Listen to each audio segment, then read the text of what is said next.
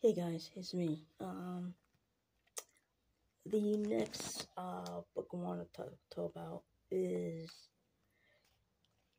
very different from the movie that I see, and that is Priest. Um, I seen the movie, and that one involves spoiler, spoiler alert if anybody has not seen the Priest movie yet. Um, that one has vampires in it. But this one has, well, demons. Um, it's very different from both the from the from this and the movie as well. Um, in this one, in this one, they only featured one one good guy. And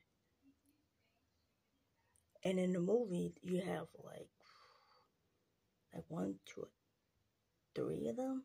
Three three good guys?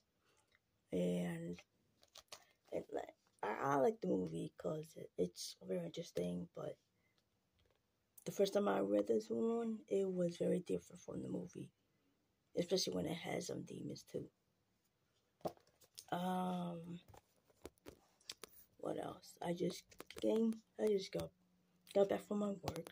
Um, it wasn't that busy at that time. At at that day, that time, and um,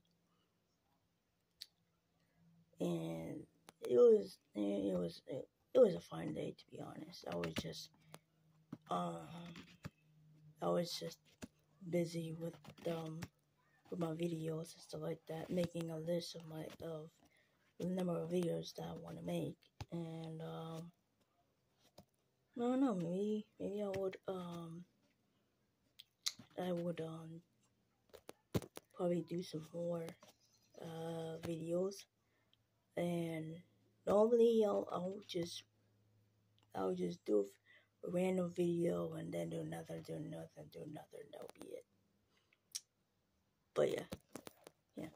So, Priest, it's very interesting. Both the both the book, or I should say, graphic novel, and uh, and the movie are just the movie's awesome. The the graphic novel it's very interesting, but it's decent as as it should be.